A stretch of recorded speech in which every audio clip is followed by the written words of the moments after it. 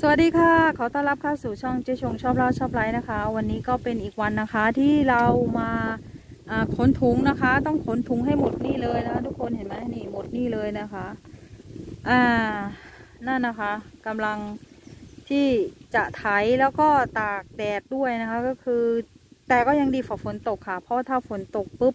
อ่ามันก็จะขนถุงไม่ได้นะคะพอขนถุงไม่ได้ปุ๊บเราก็งานมันก็ต้องหยุดนะคะ อันนี้พอ เรามีแดดแบบนี้ก็คือดีใจไปอีกอย่างหนึ่งนะคะเดี๋ยวเราก็ไปดูอ่าบรรยากาศในการขนถุงการไถการละลายกันนะคะ